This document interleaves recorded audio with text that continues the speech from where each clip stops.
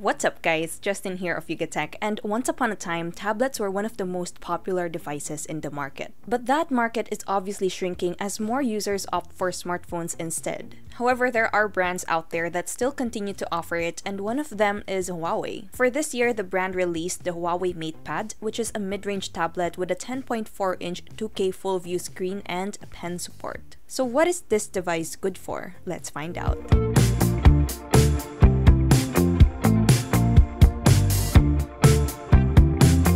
Starting with design, the unit we got comes in this midnight gray color with an aluminum body. The front houses the 10.4-inch screen with thicker bezels compared to the MatePad Pro. It also has a smaller screen-to-body ratio of 81% compared to the Pro's 86.5%. In landscape mode, we can find the 8-megapixel front camera and LED notification at the top bezel. In this orientation, we have the volume button up top as well as the quad microphones, so it can easily pick up sound when you're in a video call or when recording audio. On the left, we have the power or lock button and two loudspeakers, while on the right are two more loudspeakers and a USB-C port. There's no headphone jack here, but there's a USB-C to 3.5mm audio adapter included in the package. Located at the bottom is the card tray for a nano SIM and a micro SD card. Now flip it on its back and you'll see the Huawei branding and the protruding camera module for its 8-megapixel shooter, LED flash, and microphone. It's a bit chunky at 7.35mm and has a decent heft to it at 450 grams. But the rounded frame blends almost seamlessly with the back panel, making it comfortable to hold. Its small size also makes it easy to carry around even when it's placed in the folio. So the MatePad also supports the Huawei M Pencil, however the pen we received is for the MatePad Pro and it has a different way of pairing. We have to attach it to a magnetic cable then plug the cable to the USB-C port of the MatePad. Talk about display, the MatePad's 10.4-inch IPS screen has a 2000 by 1200 pixels resolution with a pixel density of 224 pixels per inch. It's good enough for watching videos, browsing the web, and scrolling through social media. And if you like reading ebooks or comics at night, there's an ebook mode that filters blue light to reduce eye strain. Speaking of watching videos, we enjoy viewing movies and shows with the MatePad thanks to the quad speaker and quad channel sound system powered by the Huawei Histen 6.0 3D stereo and its Harman Kardon support. Generally, it's loud and clear. There's not a lot of bass to go around, but the audio is noticeably rich and fuller compared to average smartphones. Running the software is EMUI 10.1 based on Android 10. And yes, it doesn't support Google Mobile Services natively, so it mainly relies on Huawei's own app market, the App Gallery for downloading apps. I must say, the App Gallery has grown its catalog at a rapid pace and already has most of the popular apps. If the app is not available, we can go to a reliable third-party app store like APK Pure or APK Mirror and sideload it. However, similar to Huawei's smartphones, you might experience problems when sideloading Google apps like YouTube or Gmail since these require a working Google Play Store installed. Nonetheless, if you don't want the hassle, you can always use the browser version for your Google apps. The MatePad also gets the features Huawei Share and multi-screen collaboration, which is nifty if you already own a Huawei smartphone. Since you have a large screen, you can also take advantage of the multi-window feature for better multitasking.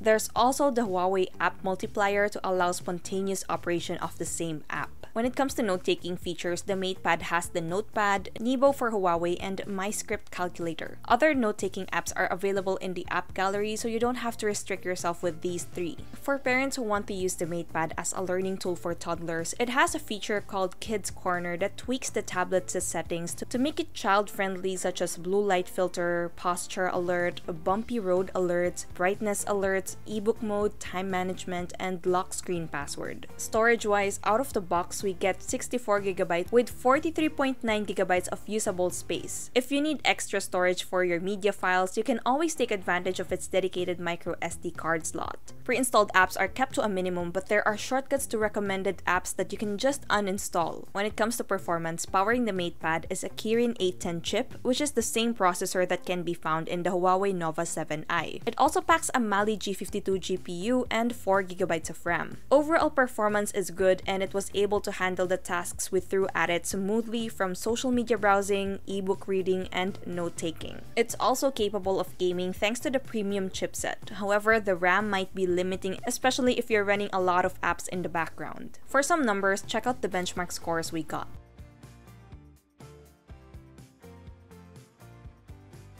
As for connectivity, this is not an issue with the MatePad as it has phone features such as LTE connectivity, Wi-Fi, Bluetooth 5.1, NFC, and SatNav systems. Battery wise, it has a huge 7250 mAh capacity, which is good considering it is built for multimedia consumption and creative purposes. It can easily last you a whole day, but less of that if you're into gaming. In our standard video loop test, which involves playing a 1080p video on loop in airplane mode at 50% brightness and volume with headset plugged in, it got us a good 19 hours and 30 minutes of playback. And when it comes to charging, the MatePad only comes with a 10 watt charger which will take almost 4 hours to charge to full. Fortunately, it supports faster charging tech so we suggest using one if you already have one lying around. When it comes to cameras, taking photos using tablets isn't something we're personally a fan of since besides the large size to grip, these devices are not primarily built for photography, which is given considering that the MatePad only has an 8 megapixel rear shooter. Although the quality on this one is actually not that bad bad. At the same time, it's not great either. It has decent sharpness, but colors are not that punchy. And as expected, low light performance is not good, as images come out noisy with smudgy details. The same can be said with its 8 megapixel selfie shooter, but it's good enough for video calls. It also comes with a beauty mode in case you really want to take selfies for a social media upload. As for the video, you're limited to 1080p at 30 frames per second.